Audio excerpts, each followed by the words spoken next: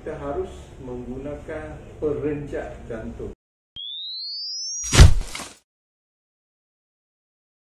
Bagaimanakah keadaan berkenaan elektrik jantung yang tak stabil dan cara rawatan yang terbaiklah untuk pesakit yang dia tak tahu nak macam mana nak mulakan rawatan kalau doktor sahkan dia elektrik tak stabil. Selain daripada serangan jantung tersumbat ataupun coronary artery uh, disease, ia juga disebabkan oleh keadaan nadi yang tak normal, ya. elektrik yang tak stabil. Ya. So keadaan yang tak stabil ni kalau untuk bahan untuk orang yang duduk di hospital, sepatutnya dia mahir lah cara nak mengendalikan pesakit uh, untuk yang datang dengan keadaan tersebut. Eh.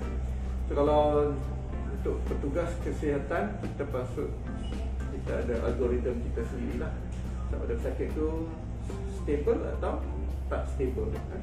Kalau stable selalunya kita akan mulakan dengan ubat-ubatan. Eh ada banyak ubat-ubatan dalam drawer emergency tu. Kan? So doktor atau pakar pegawai perubatan kenalah harus cekap memilih ubat-ubatan yang bersesuaian dengan pesakit yang mengalami uh, gangguan elektrik pada masa itu. Tentu ada ubat yang tak sesuai dengan penyakit asma dan kita kena tukar yang lain.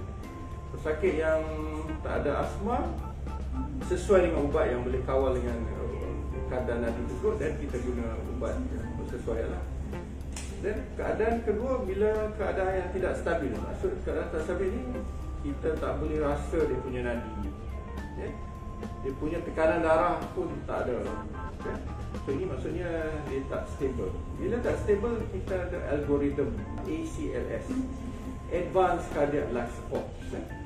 Advanced Cardiac Life Support ni untuk pegawai perubatan ataupun uh, paramedik dan juga pakar perubatan lah dia harus arif dengan benda ni.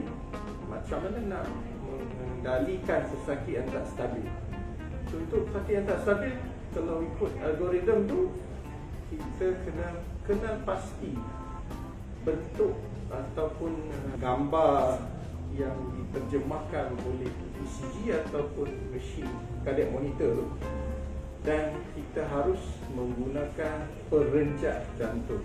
Nah, perenjak jantung berdasarkan uh, jenis uh, dan berapa joule yang harus diberi nah, untuk memastikan renjatan itu berjaya memulihkan balik nadi itu kepada sistem nadi yang normal dan juga ada sikit ubat yang harus diberi pada masa pemulihan tersebut kita panggil resuscitation ya.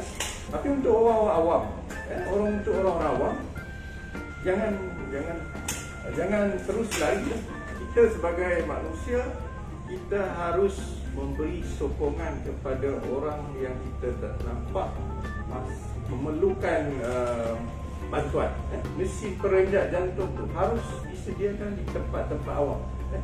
contohnya di uh, lapang terbang terminal ferry, ya, di stesen bas dan juga di shopping mall. Ya.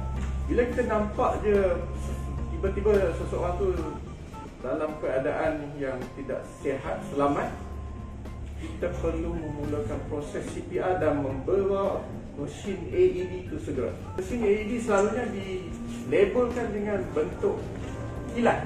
Kalau dekat airport, dekat uh, terminal ferry, ada je bentuk kilat kita pastikan seorang penyelamat memulakan CPR, seorang lagi berlari mengambil mesin AED ini.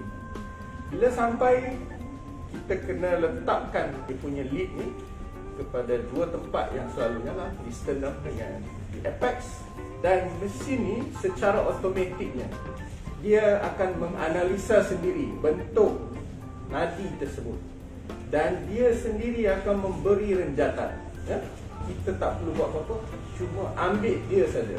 On kan dia akan menganalisa. Cuma analisa dia dalam bahasa Inggeris lah.